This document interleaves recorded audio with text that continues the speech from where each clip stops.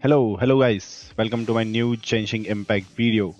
Guys, in this video, we're gonna check Raiden Shogun with the team Kuki, Xingqiu, Nahida. We're gonna uh, build a team, Aggravate and Hyperbloom team, and we're gonna test Huta uh, Baal with the proper energy recharge build with little 138 elemental mastery here.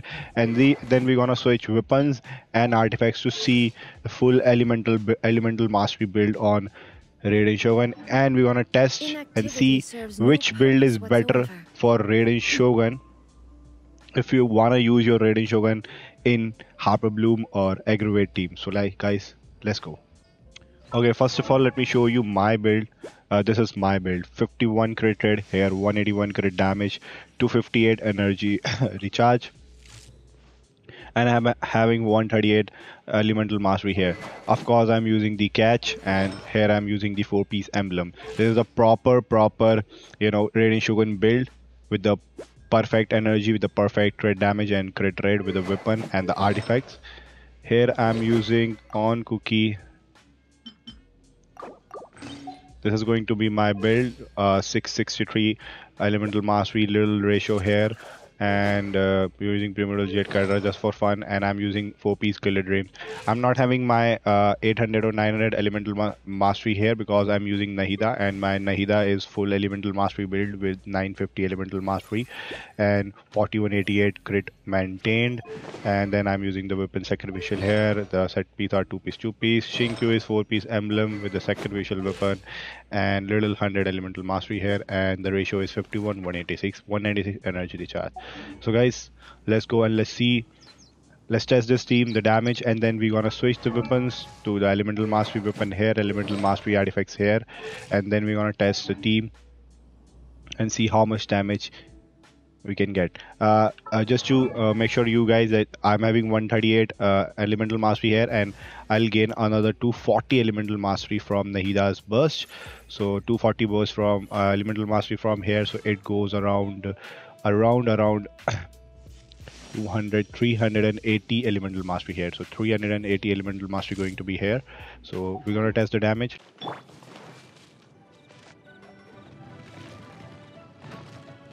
Everyone hold hands! Ring cutter, know my sword! Huh? Sharing my knowledge! Illusion shattered! Inazuma shines eternal!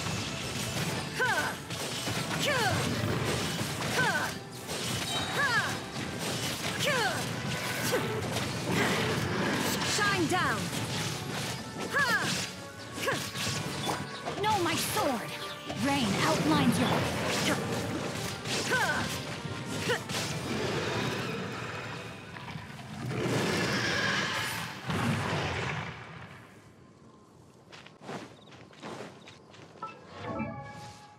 Uh, one thing I want to tell you, you can definitely tweak uh, something, some here. Like you can also tweak this uh, build. Like you can uh, go for the. Uh, okay, just leave this open.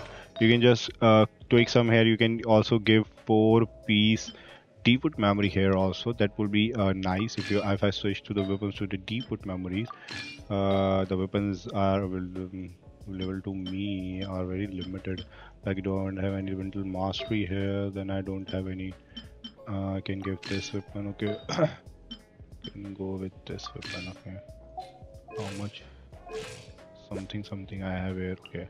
I can definitely go for the crit weapon here and then my elemental mastery like this and this uh, all like this. And then I can go I can go here and I can switch the weapon here. And I'm having 828 here and this is look like this. So I can also do this and you can also go with this build little elemental mastery but the crit ratio is maintained well and you're using the 4 piece deepwood memory.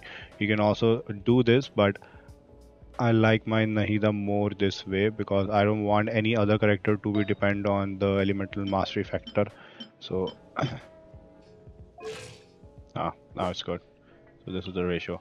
So I like my uh, build more this way. Uh, rather the other way. So now we'll switch the weapon here. We can switch to any elemental mastery weapon which provide us the highest amount of elemental mastery.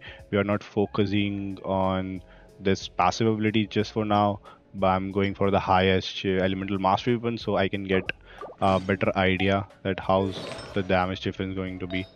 So here I will we can also switch the artifact. First of all, already the elemental mastery is 358 here so if I switch to the weapons uh, to the artifacts here like I switch to the elemental mastery artifacts totally. I can go with this uh, elemental mastery weapon. I can I cannot switch here because I don't think I have elemental mastery weapon uh, artifact here. Uh, one artifact I have it's on Kuki. Uh, beside that I don't have any artifact. Okay leave it on attack percentage for now. Uh, we can we can create a set piece also like uh, gilded or uh, any other. Uh, just I can just go for the two piece two piece to get the maximum elemental mastery. So here I given the offset. I can give like this or maybe this. I'm having 612 here. And I have the okay let's save it on there. We can I can also switch to the artifact here 14 40 it's going to be better. So there is two piece here. Uh, okay. What we have here. Again. Okay we can give this attack percentage here but I need elemental mastery here. This is gonna be a problem okay we can switch to the uh, two piece energy here because I don't have uh, that so already my uh, elemental mastery is comparatively very high. So if any uh, damage if is going to be uh, so we can uh, you know actually see in the we will actually see the damage effect so crit rate have no like no majorly effect. 52 crit rate 188 9 crit damage. It's almost the same that we are using with catch. But the catch we are having the passive perk here 12% crit and the 32 crit damage. But here I'm we're not having any perk. Uh, definitely the uh, animals, uh, the opponent's gonna be affected by Hydro because we are using Xingqiu. Uh, but I don't think that's if that's like that uh, thing's gonna work. So uh, Tans are on same max, no cons, and the weapon using Dragon's Bane. The artifacts look like this for now. So let's let's see the damage. Everyone hold hands. Ring cutter, my sword. Huh?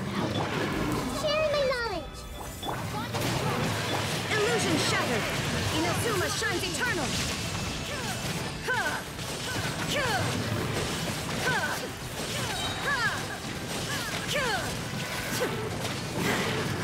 Shine down!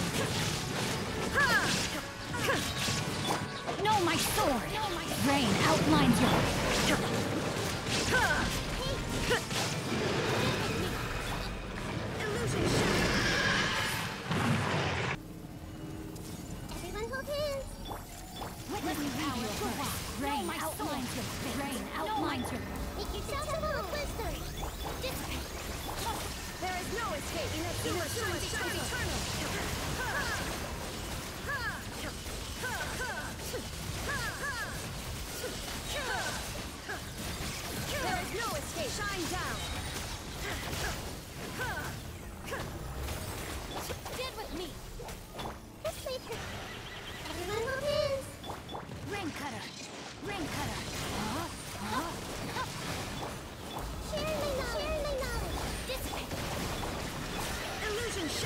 To oblivion. To oblivion.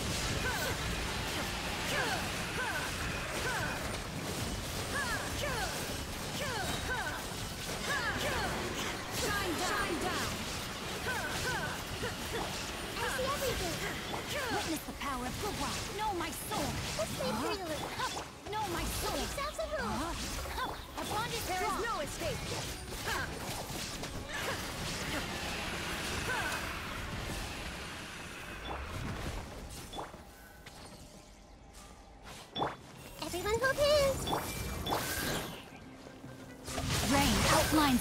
Illusion shattered. Shine down.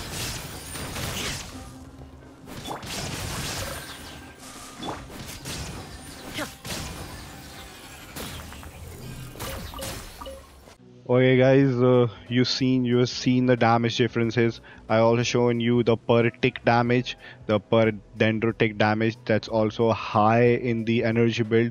Uh, if you're having like 250 energy recharge and uh, on the same time you're having 400 elemental mastery, 250 you're gaining from uh, uh, Nahida's burst and 150 you are gaining from the artifacts. So that's equals to 400 and if you are having 400 elemental mastery with the 250 energy recharge i think that will be better and if you're using catch of course.